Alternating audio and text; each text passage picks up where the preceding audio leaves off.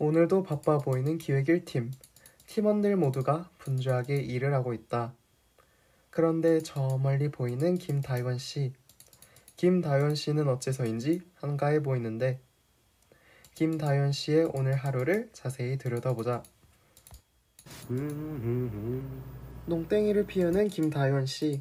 팀원들은 죽어나가는데도 혼자 살만한 듯하다.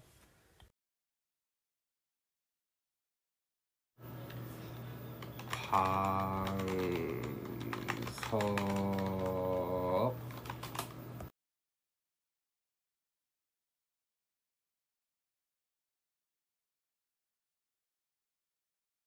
이런?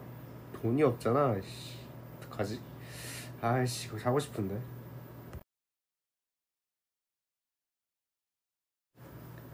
아씨 이거는 그만 써야 되는데 아 근데 방석은 사고 싶고 씨. 아 그냥 한번더 쓸까? 아니지 어, 이 복화가 어차피 내 거 아니야? 내가 이런 거 왜 고민해야 되지? 그냥 쓰지 뭐 이런 식으로 법인카드를 쓴 게 한두 번이 아닌 듯하다.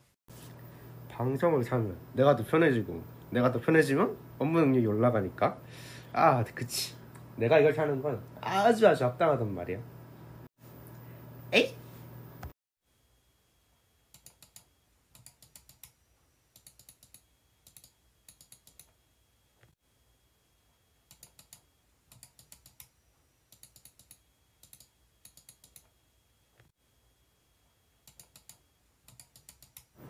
음아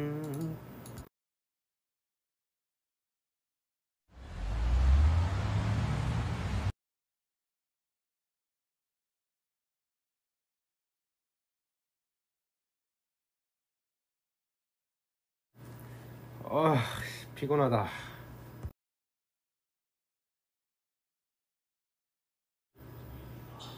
아 양자 오고